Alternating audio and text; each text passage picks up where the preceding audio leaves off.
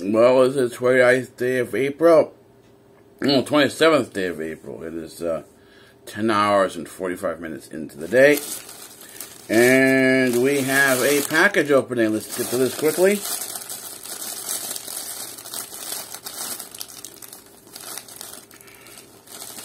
The scissors will have to be used. It's uh, initially a very durable plastic in terms of the bag cover terms of the covering, the, the bag they initially placed it in. So it's done. Let's see what we have. Okay, good. More have come in. These are socks. This is what I was hoping for. So good, yay for that. Uh, I'll be definitely using them soon. So, uh, that's it. because we've got a lot of uh, ride vlogs to go.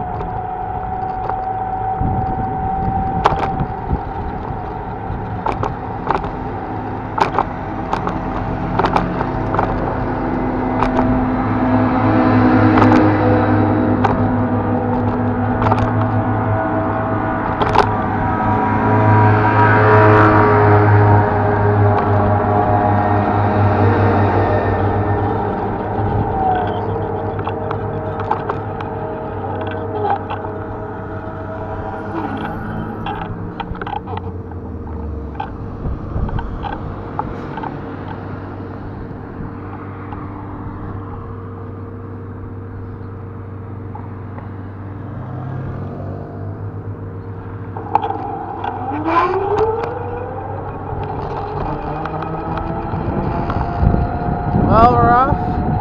A little more traffic now. It's around 1 o'clock in the afternoon.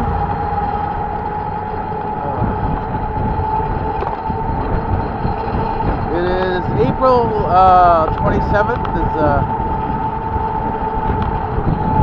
Tuesday. It's actually Holy Tuesday for uh, the Eastern Christians. And we're on the road heading over to my parents' house. I've got some work to do uh, there. Was at my second office. So, uh, and I won't be riding home until tonight.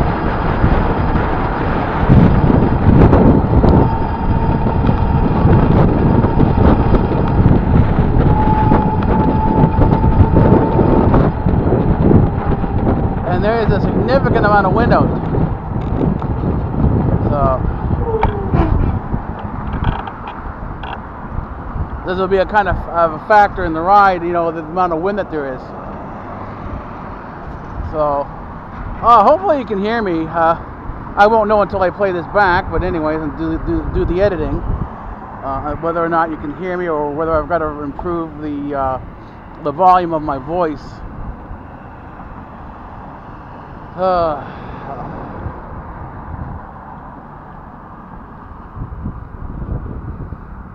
I just finished watching Lion LeBron uh, of Lionel Nation, and the thing is, is that uh, people say, "Well, why do you watch this guy? Why, you, why, why is he so interesting?" Well, it's not a matter of interest. It's a matter of that you got to, as I said, you have to look at a lot of different points of view, and uh, his point of view is significantly different than from most others.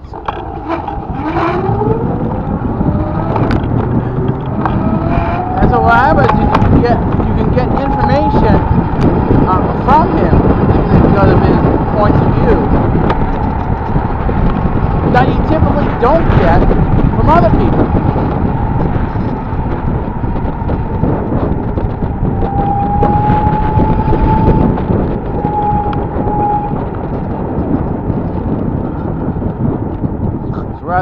So I got my solar visor on. Gotta fix it a little bit. Sun's right above me.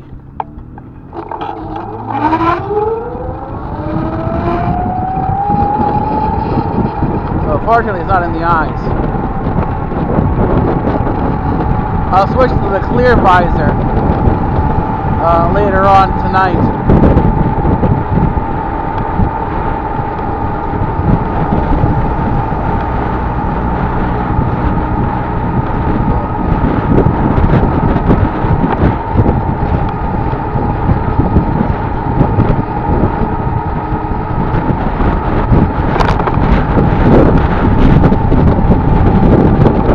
Just square the wind out. I have to negotiate through the wind. The same issue as uh, I think it was the last night or the night before. There was a lot of wind, and it made it a little difficult to ride because it, the wind knock, can knock the balance off. So you have to readjust for the wind.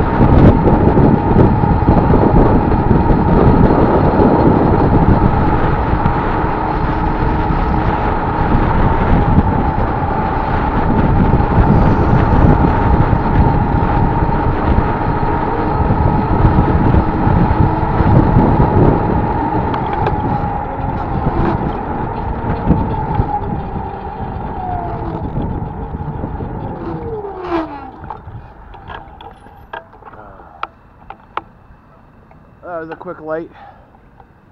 Almost over. There we go. Other side has a left turn signal. A little bit of stall on the accelerator.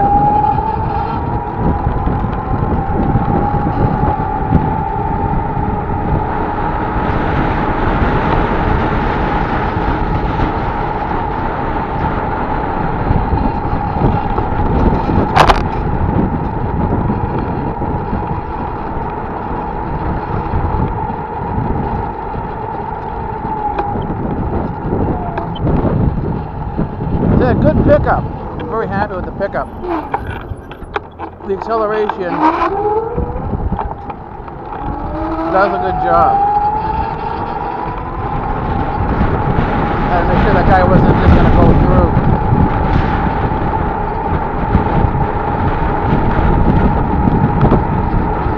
This makes the conversation a little cumbersome here. Is that the wind is one factor, and then the second factor is you have to pay attention to so much on the road that it pulls your mind away from as it should be. It's difficult to maintain the conversation. On, there we go.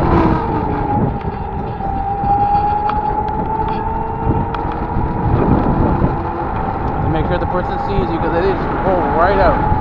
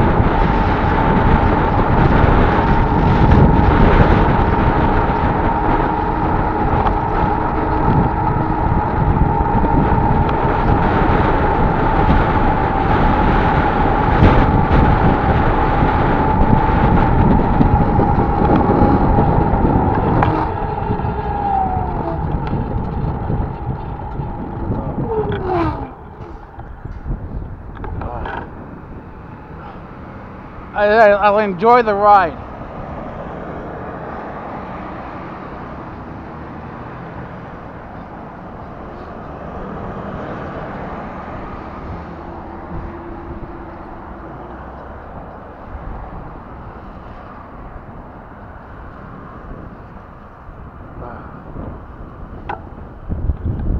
Interestingly enough, a peruser around Instagram finds Bill Maher now acting more like a Republican.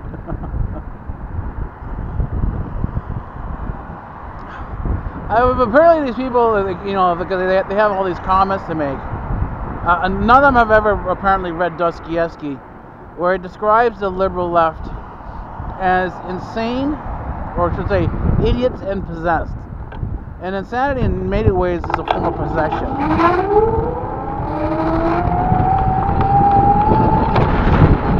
It's kind of way it's described. Okay, now I've got a garbage truck here. And I've got to negotiate around.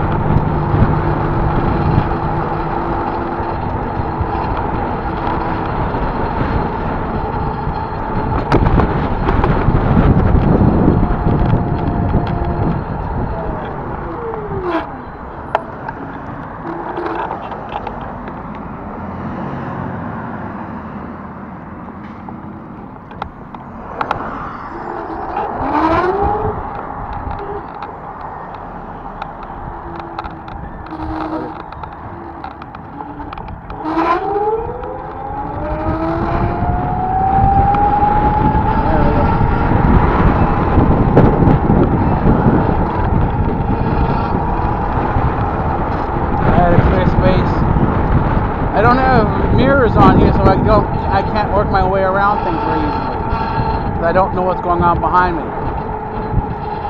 So, so that's actually an issue now kind of resolved.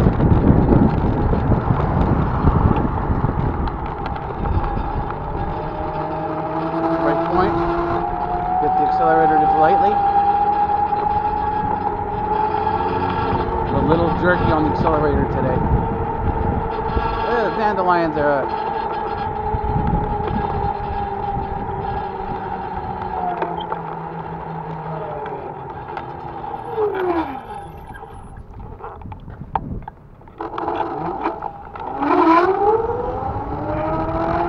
lot of my aunties would be out picking and uh, for tea.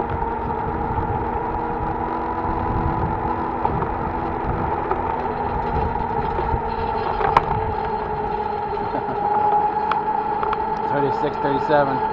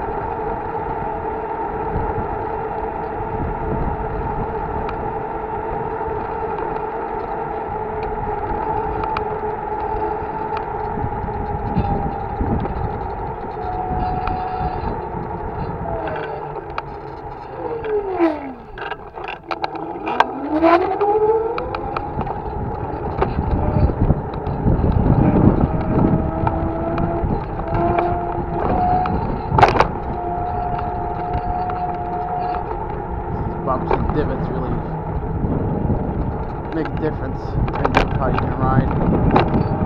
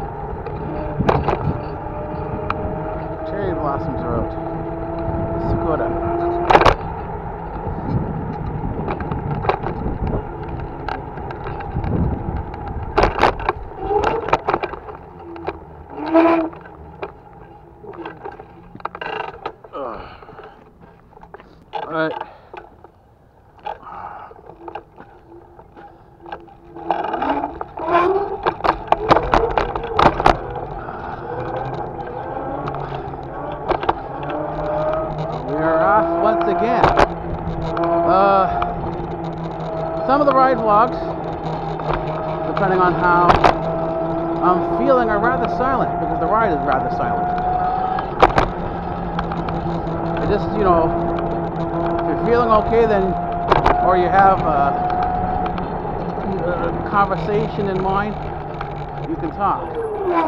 Don't have a conversation in mind, then there's no conversation. And so there's obviously no, uh, no talking. Uh,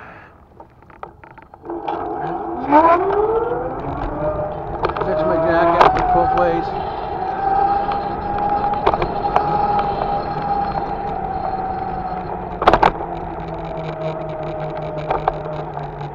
I noticed on the audio.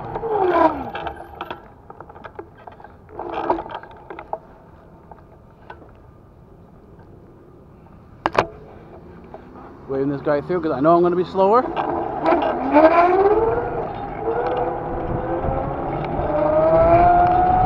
to want to pass me.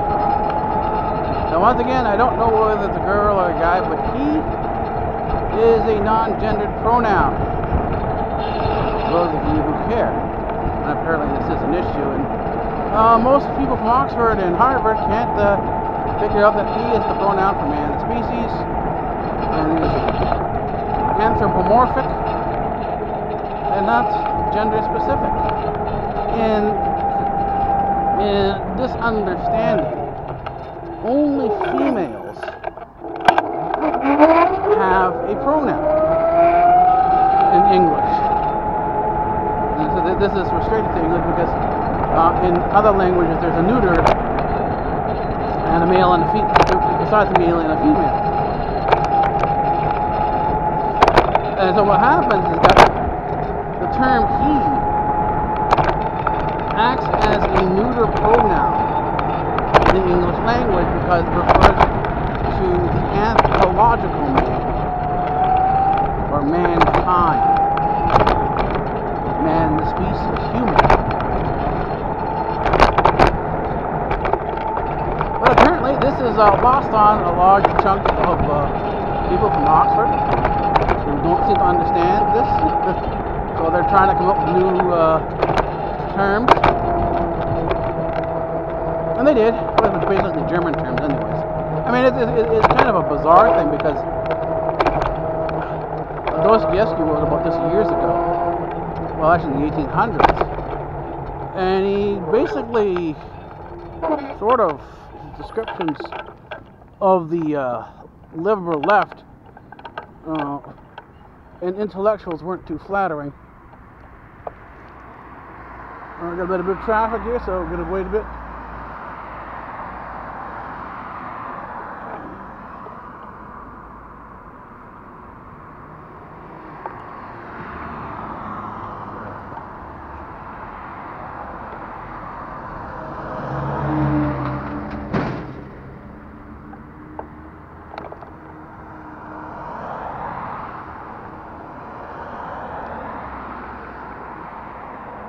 We went through the bus go by, that should be good. Seems to clear after there. After the bus. Come on, bus dude. Let's go.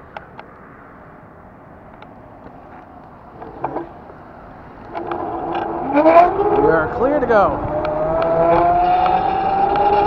Now we're behind the bus. It'll be interesting to sort of see how we end up traveling with the bus, either behind or uh, somewhat a little bit ahead. So I won't go too fast. Allow the bus to sort of do what it needs to do and uh, follow at a good distance behind.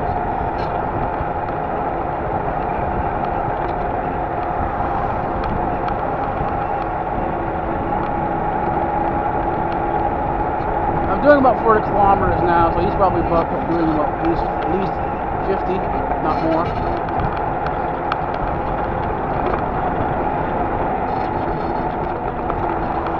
There's some of these patches that are sort of sunken in. The road is not exactly smooth as it should be.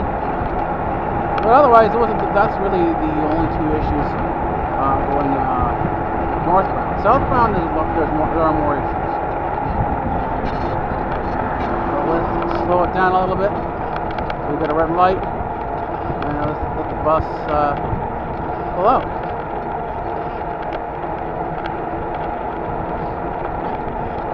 I was saying to my mom is because it's helping my mom out trying to walk again. And there's a lot of fear involved. And she wonders why I sort of repeat things and talk as she's coming on the way down. And that's because uh, talking actually helps alleviate stress.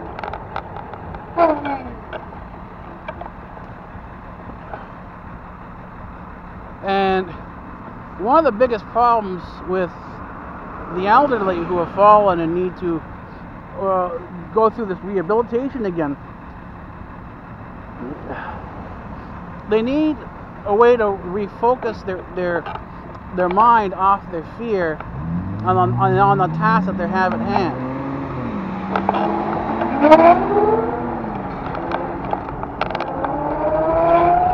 And talking does that. Talking to the person gives them a sort of a distraction away from their fears as they're coming down the steps.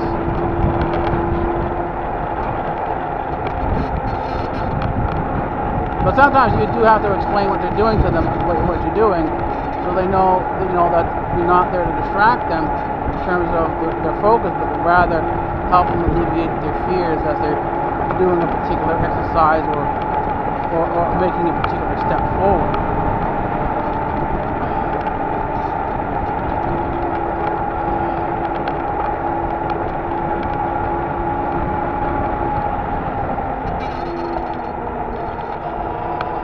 It's like we're going to be behind the bus for a bit.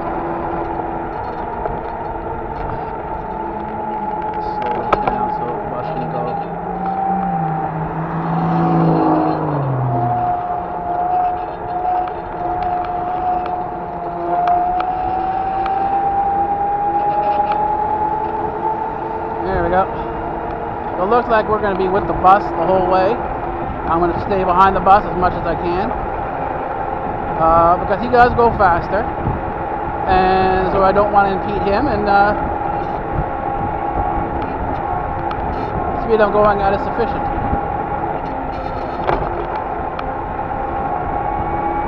Doing about 36, 35, 36 uh, uh, kilometers an hour. I got my phone fixed up. I was having a problem with my phone in terms of uh, dialing out and uh, getting service, but I got that fixed up today as well. Uh, did a lot of data, data transfer to my parents' house. So I got, I got, and I got the another vlog up. I got a ride vlog up for the uh, April 7th. So today's the 27th. We're just about, we're just about. Uh, 20 days out for being current. So that's not that's not bad. I'm happy with that. So let's get right here we are. We're going to do.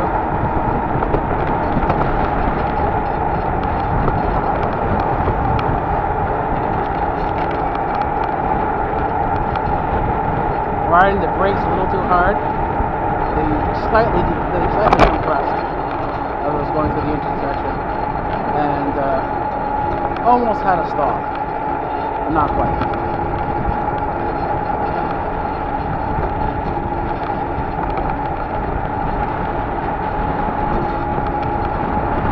Throttle control is always an issue, well, particularly when you're driving, because you don't want to press too hard, but at the same time you don't want to press too light. You don't want the uh, car or the vehicle you're driving to stall and sort of not have any momentum forward. You need to sort of keep in with the flow of traffic as much as possible. And if you are slower, stay to the right. And I am slower, so I do that. I stay to the right. I let other people. You know, that doesn't bother me at all. Like I said, I'm not a person who has a need for speed. I'm more of a, uh, a journey guy type of guy. I like the uh, path from A to B. It's about the journey, not the destination. That's kind of where I sit on this.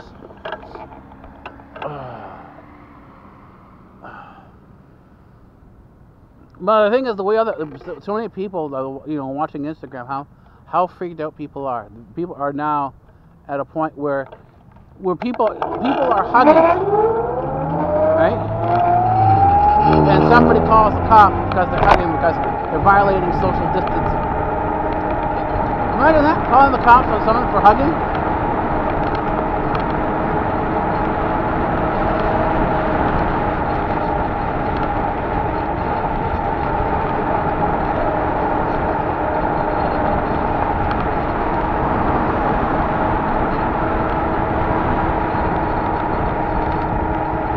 And it's so ironic because there used to be a show I used to watch called Wait Till Your Father Gets Home. This was during, uh, uh, I think the 80s, the height of the Cold War. And there was this one guy that always used to hide in people's hedges. He, always, he thought himself to be CIA. And he was watching for uh, uh, uh, Soviet spies. And he, he jotted down everything the neighbors did, and, and as when he thought something was suspicious, he called the FBI saying, My neighbors, they're doing X, Y, and Z. It's suspicious. and it wasn't anything, it was just the usual stuff.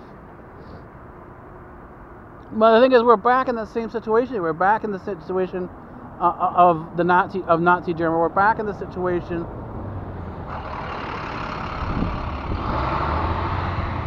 uh, with uh, the Cold War again ironically enough, it's, it's, it's, these old Cold Warriors like uh, James Comey who don't want didn't want the Cold War to end because it was a good thing. It, it it gave them a lot of money. They had a lot of things to do.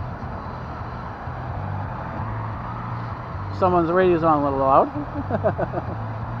they got good stereo speakers. I gotta do that too with my earpods, but I need to hear the traffic.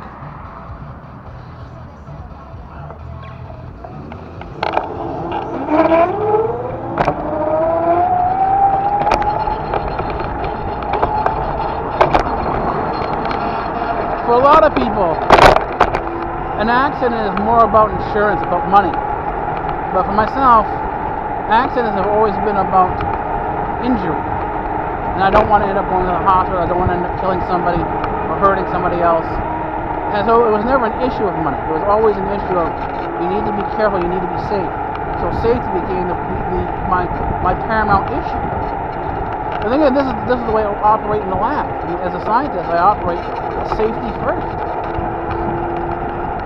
And you have to be reasonable about your safety. There are certain things, you know, if you're reasonable about your safetyness, and you have a sense of what reason is, or, you know, what reasonable is, because some people don't anymore. They don't know what's reasonable.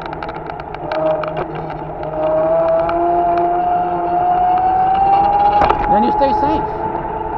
And you can do things that you would not normally do if you were terrified all the time.